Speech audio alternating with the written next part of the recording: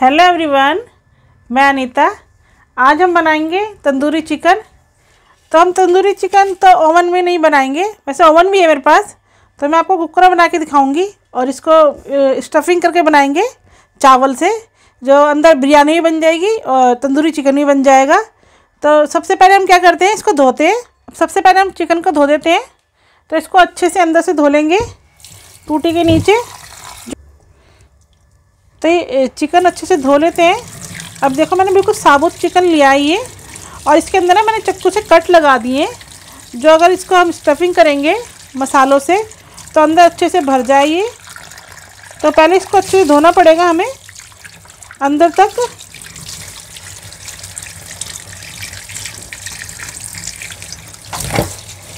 अभी चिकन हमारा धुल चुका है।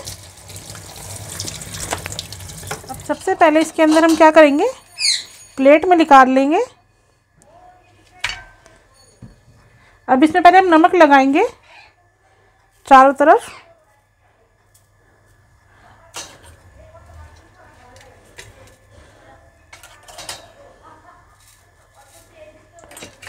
अच्छी तरह नमक लगा लेंगे।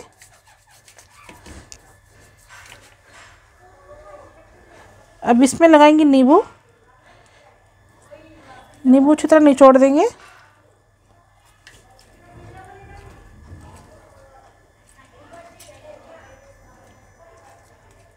अब नींबू डाल के इसको अच्छे से रगड़ देंगे।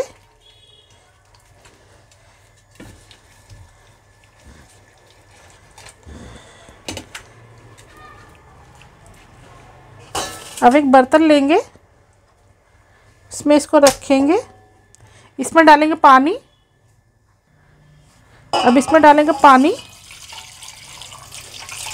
पानी हमने इतना डालना है जो ये भीग जाए पूरा।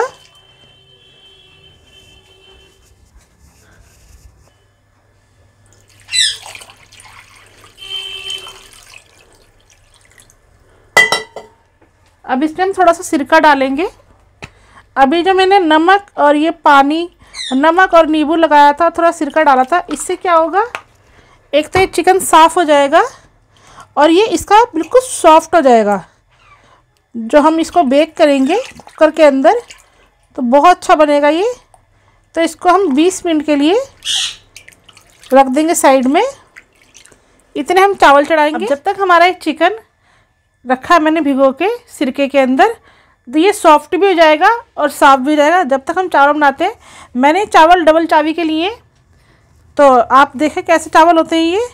क्या कहते हैं, गलते नहीं है ये पकाने में? बिल्कुल खिले खिले चावल बनते हैं ये। अब इनको धो के बॉयल करने के लिए रख देते हैं। अब चावल मैंने धो लिए। पानी मैंने गर्म होने के लिए रख दिया था। अब इन चावल को उबलने के लिए रख देते हैं। और इसमें डालेंगे थोड़ा सा नींबू। नींबू मैं ऐसे ही डाल दूँगी, निचोड़ूँगी नहीं। और जो ये कटा हुआ नींबू था, हमने निचोड़ा था, ये भी डाल दूँगी। तो इससे क्या होगा, चावल गलेंगे भी नहीं और खिले खिले बनेंगे। अब जब तक हमारे चावल होते हैं, जब तक अंदर में मैरिनेट करने के लिए दही लिया है मैंने, ये मैंने 200 ग्राम दही लिया है, अब इसमें डालेंगे हम हल्दी। एक चम्मच हल्दी डाल रही हूँ। मिर्च भी ले रही हूँ मैं, एक चम्मच। एक चम्मच मैं गरम मसाला ले रही हूँ। धनिया पाउडर एक चम्मच और नमक, स्वाद के अनुसार और थोड़ा सा मैं चिकन मसाला डाल रही हूँ। इससे का अच्छा फ्लेवर आएगा। अब इन सबको मिला लेंगे अच्छे से।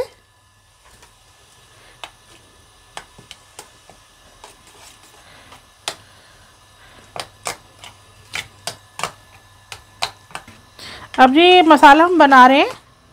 चिकन को हम इससे ही कोट करेंगे। तो इससे फ्लेवर बहुत अच्छा आएगा तंदूरी चिकन का। और जो अंदर बिरयानी भरेंगे, उसके अंदर भी बहुत अच्छा फ्लेवर आ जाएगा। तो इससे हम कोट करके रखेंगे। अभी मसाला हमारा पूरा मिल गया है। अब इसको रख देते हैं। इतने मैं प्याज काट लेती हूँ, जो चावल मैं छोकूँगी। तो उसके लिए जैसे चावल फ्राई करके डालने हमने उसके अंदर मैं प्याज काट लेती हूँ और थोड़ी सब्ज़ी काट लेती हूँ। हम इतने प्याज उज काट लेते हैं, जिससे मैं चावल छोकूँगी प्याज से। जैसे बिरयानी बनाते हैं तो उस तरीके से मैं छोंक दूँगी चावल अंदर स्टफिंग करने के लिए। तो इसके लिए मैंने दो प्याज लिए और एक गाजर लिए और चार पाँच फली लिए फ्राज बीन्स तो इन सबको काट लेंगे। क्योंकि जब मैं प्याज में फ्राई करूँगी तो सब्ज़ी भी फ्राई कर दूँगी, तब मैं चावल इसमें डालूँगी। तो इन सबको काट लेते हैं, अच्छे से बारीक बारीक थोड़े काट लेंगे। अगर आपके पास कोई और भी सब्ज़ी है तो वो भी यूज़ कर सकते हैं। अगर गाजर नहीं है, शिमला मिर्च है, या आप टमाटर भी यूज़ करना चाहते हैं, तब भी कर सकते हैं। हरी मिर्च हो गई, आप सब्ज़ी कोई भी यूज़ कर सकते हैं। जो जो मेरे मेरे पास जो थी, मैं वो यूज़ कर रही हूँ। अगर आप चाहो तो बिना छोके भी चावल डाल सकते हैं, लेकिन जैसे उबले हुए चावल होते हैं, चावल उबाल लिए तो आपको 50 परसेंट चावल पकाने होते हैं। और 50 परसेंट जैसे हम इसमें चावल स्टफिंग करेंगे तो उसमें पक जाते हैं। जब हम इसको बेक बेक करते हैं तो आप इसको बिना उबाले चावल उबाल लिए, उसमें दही मिलाया और मसाला मिला के इसको वैसे भी स्टफिंग कर सकते हैं। लेकिन जो छोक के मज़ा आता है चावल स्टफिंग करने में चिकन के अंदर, उसका एक अलग ही टेस्ट होता है। जैसे आप चिकन बिरयानी खाते हैं, उस तरीके से टेस्ट आता है। तो अगर इस तरीके से बनाएँगे तो और भी अच्छा लगेगा। मैंने प्याज काट लिए, गाजर और फली। अब इसको हम साइड में रख के चिकन को मैरिनेट करेंगे। पहले हम इसको पानी में से निकाल लेंगे। चिकन के अंदर जो हमने दही वाला मसाला तैयार किया था, अब इसको अच्छी तरह लगा लेंगे हम। सब जगह अच्छी तरह कोट कर देंगे अंदर बाहर, क्योंकि इसको हाथ से लगाना पड़ेगा। तो चारों तरफ़ भरेंगे अच्छी तरीके से, जो हमने कट लगाए हैं, इसमें भर लेंगे अच्छे से।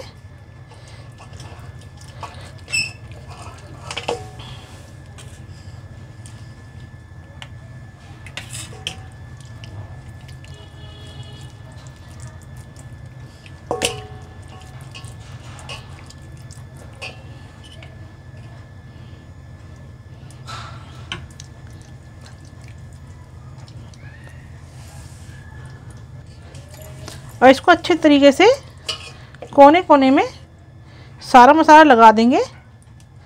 जो हमने कट लगाए थे चक्कू से, उन सब में भर देंगे अच्छे से।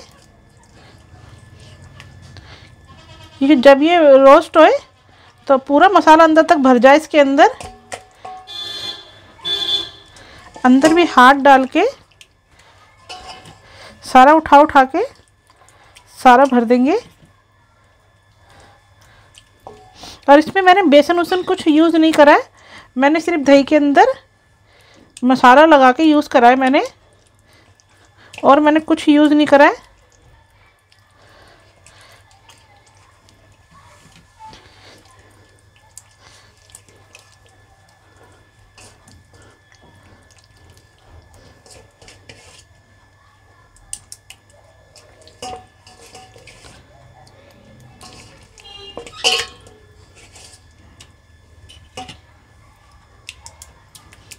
अब इसको हम 20 मिनट के लिए रख देते हैं। अभी हमारे चावल पक चुके हैं। मैंने 50 परसेंट चावल पकाए हैं, क्योंकि आधे ज़्यादा चावल हमारे चिकन के अंदर पक जाएँगे। तो इसको मैंने कच्चे रखे हैं बहुत ज़्यादा। मतलब 50 परसेंट समझ लो कि मतलब हल्का सा हाथ लगाओ, टूट जाए इतने चावल मैंने पकाए हैं। अब इनको पसा लेते हैं। तो ये चावल हमारे बन, पसा दिए मैंने। अब इनको हम फ्राई कर लेते हैं। सब्ज़ी के अंदर और प्याज के अंदर। तो सबसे पहले मैं कढ़ाई चढ़ाती हूँ। गैस चालू कर लेते हैं। अब इसमें एक चम्मच तेल डालते हैं। अब इसमें डालेंगे प्याज।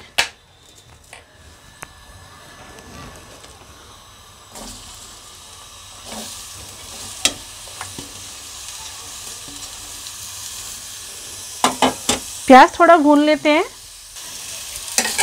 अब प्याज भून लेते हैं।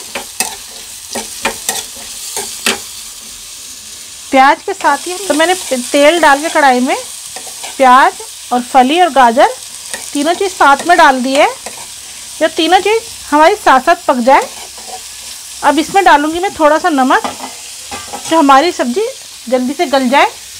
तो इसमें आधा चम्मच के करीब, आधा चम्मच से भी कम है। इसमें सिर्फ़ नमक डालते हैं और थोड़ा सा गरम मसाला डालेंगे। तो थोड़ा अच्छा सा टेस्ट आए। अब इसको हम पाँच मिनट के लिए थोड़ा पकने देंगे। इसमें थोड़ा मैं बिरयानी मसाला डाल रही हूँ। जो अंदर हमें बिरयानी का टेस्ट आए चावल के अंदर, अब इसको हम चला लेंगे।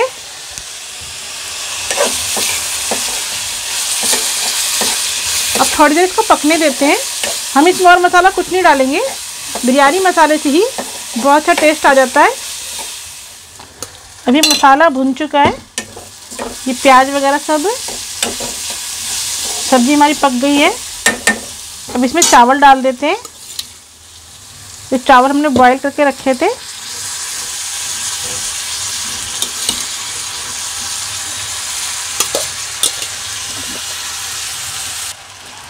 अभी चावल मिला लेते सारे। इससे क्या होगा, जो हम चावल की स्टफिंग करेंगे अंदर, बिरयानी का टेस्ट भी आएगा और तंदूरी चिकन का टेस्ट भी आएगा। तो बहुत अच्छे लगते हैं ऐसे बनाने में।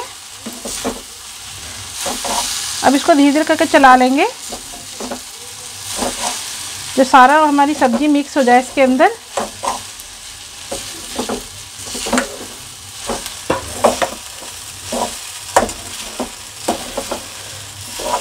इसको पाँच मिनट के लिए सिर्फ़ पकने देंगे।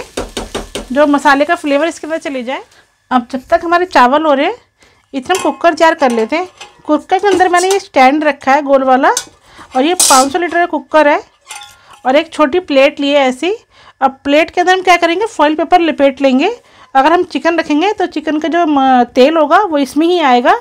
तो पहले फॉइल पेपर पर लपेट लेते हैं इस पर प्लेट पे। अब मैंने एक फॉइल पेपर लिया है। इस प्लेट पे रख के इस प्लेट को नीचे तक फोल्ड कर देंगे।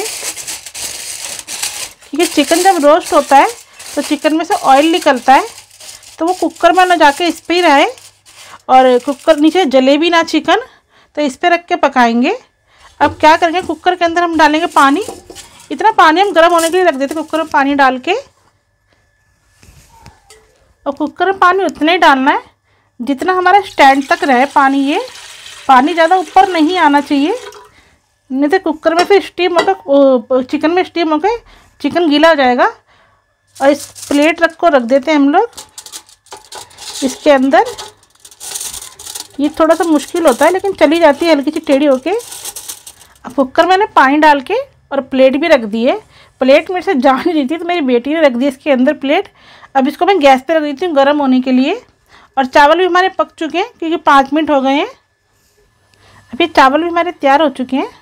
अब चावल को मैं चिकन के अंदर भरूँगी। अब ये चिकन मैं एक प्लेट में निकाल के रख लेती हूँ। इसमें अब ये चावल मैंने बनाए हैं, ये इसमें भरूँगी मैं। ऐसे उठा के इसके अंदर भरूँगी अच्छे से।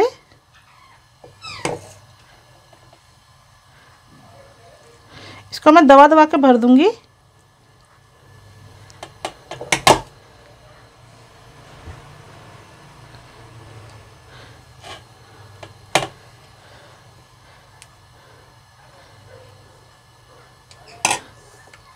अब इसको मैं क्या करूँगी? इसके पैर को ऐसे करके फॉइल पेपर से बांधूँगी। जो ये चावल हमारे बाहर ना निकले, अभी चिकन है। चिकन के ऐसे पैर पकड़ के दोनों ये फॉइल पेपर लिया है मैंने। इस तरीके से। क्योंकि कुछ और तो बाँध नहीं सकते। तो फॉइल पेपर से ही बांधने पड़ेंगे। तो ऐसे करके टाइट हो जाते हैं बिल्कुल। और जो बचा हुआ मसाला है बर्तन के अंदर, वो सारा हम इस पर ही डाल देंगे।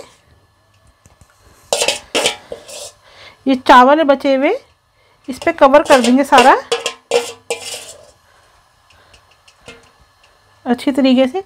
अभी कुकर के अंदर चिकन हम रख देते हैं प्लेट के अंदर। तो इसको आराम से रखना पड़ेगा क्योंकि कुकर मैंने गर्म कर दिया था। तो बिल्कुल आराम से रखना पड़ेगा इसको। अब इसको हम क्या करेंगे? ढक्कन लगा देंगे और सीटी निकाल देंगे कुकर की। सीटी नहीं लगानी है। और तेज़ फ्लेम रखेंगे इसका। मैंने इसको अब चढ़ा दिया। इसको हमने 35 मिनट के लिए पकाना है कुकर के अंदर चिकन को। तो मैं पाँच मिनट के बाद इसको खोल के देखूँगी और इसको देखूँगी थोड़ा सा ये, अगर मसाला हमारा थोड़ा टाइट हो गया तो इस पर या तो मक्खन लगाऊँगी या तो मैं घी लगाऊँगी। आप कुछ भी लगा सकते हैं, जो हमारा चिकन अच्छे से रोस्ट हो जाए और अच्छे से क्रिस्पी सा हो जाए। तो इसको मैंने तेज़ फ्लेम पे रख दिया है और इसको तेज़ फ्लेम पे होने के बाद प्री हीट हो जाएगा ये। फिर इसको गैस हम सिम करके पीछे तरफ़ की गैस पे रख देंगे। जो ये प्री क्या कहते हैं ओवन का जैसे होता है ना, ओवन पकता है धीरे धीरे करके, फिर ये वैसा पकेगा ओवन के अंदर कुकर के अंदर, ओवन की तरह। तो अब इसको हम रख देते हैं। मैं मक्खन लगाऊँगी। देखो, बिल्कुल अच्छे से हो गया ये वैसे। थोड़ा थोड़ा मक्खन लगा देते हैं। तो एक अच्छा सा फ्लेवर आए। तो मक्खन इसके अंदर अपने आप ही चले जाएगा। बस हमको इसको ऊपर से डालना है मक्खन।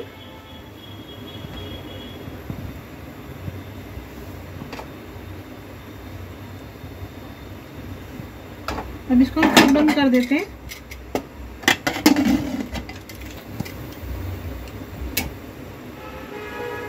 मैंने तेज गैस पे रखा था।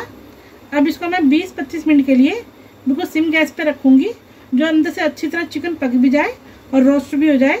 तो इसको हम रख देते हैं 20-25 मिनट के लिए। अभी हमारा चिकन बन के तैयार हो चुका है। अब जब तक ये ठंडा होगा, इसको उतार लेते हैं। ढक्कन हटा देते हैं। जो हमारा चिकन ठंडा हो जाए, और जब तक ये, जब तक ये चिकन ठंडा होता है, तब तक हम चटनी बना लेते हैं इसके साथ खाने के लिए। एक बाउल में दही लेंगे थोड़ा सा और ये हरी चटनी दही के अंदर मिला लेंगे चिकन के साथ खाने के लिए। इस तरह खाने से बहुत अच्छी लगती है। और इसमें ही हम ये प्याज के मैंने छल्ले काट के रखे हैं। ये चटनी में डाल लेंगे।